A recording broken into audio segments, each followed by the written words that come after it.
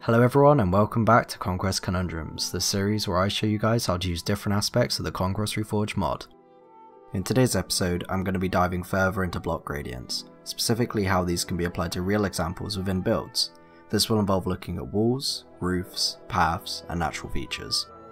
I would also like to link you all again to the guide on the official Conquest Reforged website put together by eag_inc. Their guide has yet again helped reinforce the terminology and methods I am to show today, and a link to the guide will be down below in the description. So, without further ado, let's get right into this episode.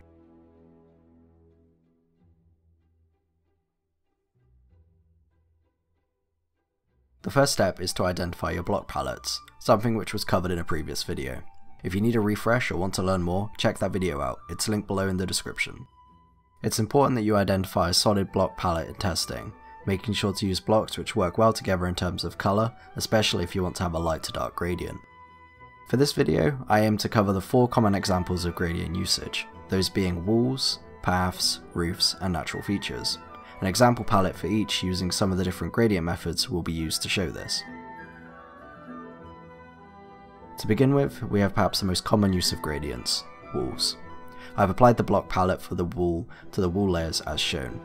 This was done using two different methods. The first involved a drip gradient, one with a basic approach and another with a slightly more advanced drip using diagonal transitions. The second wall example involved using the clustering technique to achieve patches of lighter blocks contrasting into darker options.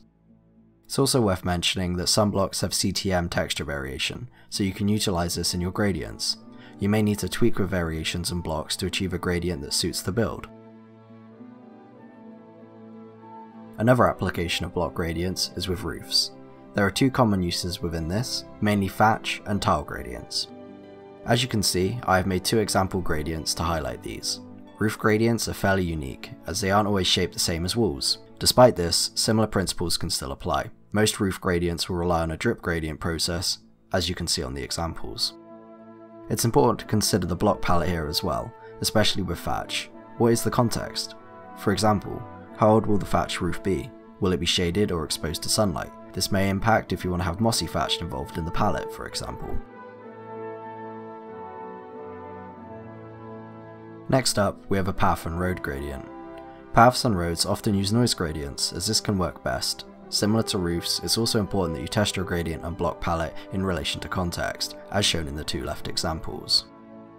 If the climate in which you're building is dry, you may choose to opt for a more sandy gradient, in contrast to this, a more temperate climate might result in a more saturated and muddier gradient being used.